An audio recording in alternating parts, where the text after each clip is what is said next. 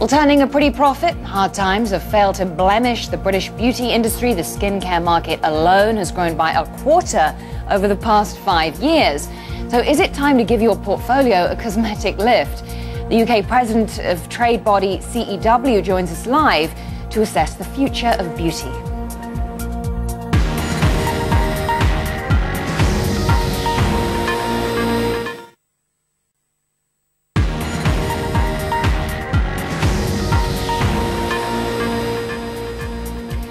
An aging population, a rising male customer base, and women retiring later are all leading to a growth spurt in one of Britain's less talked about industries, beauty and cosmetics.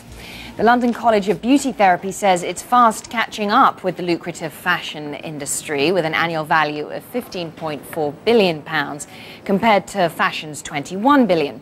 It also employs more people with almost a million people working in hair salons, nail bars and other beauty outlets. Compare that to the 816,000 people working in fashion. Well, my next guest says that all the trends suggest the beauty industry can sustain its growth spurt.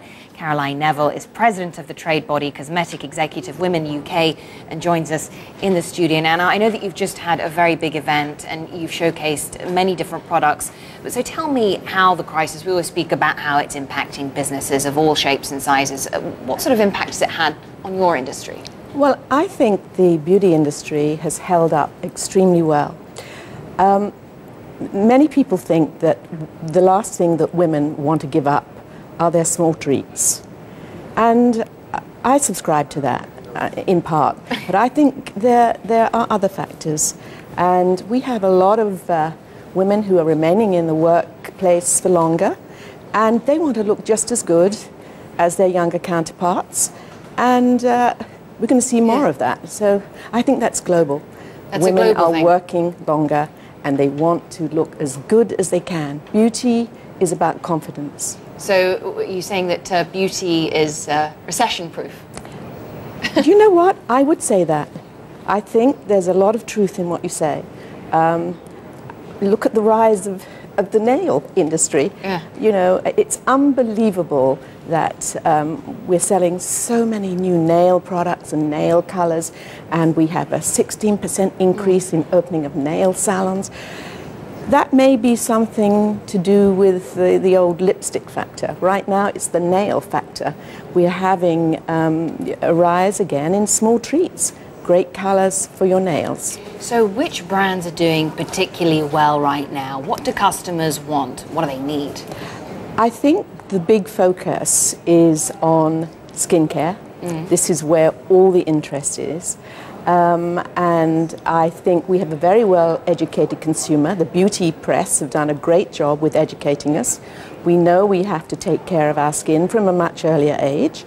And um, we're looking for products, I think, which have a, a, a dual purpose. A product which not only uh, treats your skin, yeah. but also covers maybe some blemishes, evens a, a tone, yeah. gives some highlighting to the skin. So I, I, think you have to look at the skincare area. Uh, I'm just curious. Are you? I mean, are businesses finding it um, perhaps more difficult um, to deal with customer demands? I mean, are women, are people in general, getting a little bit smarter when it comes to what they want in terms of distinguishing what could be more of a gimmick and buying on the label versus, say, uh, the scientific substance of it?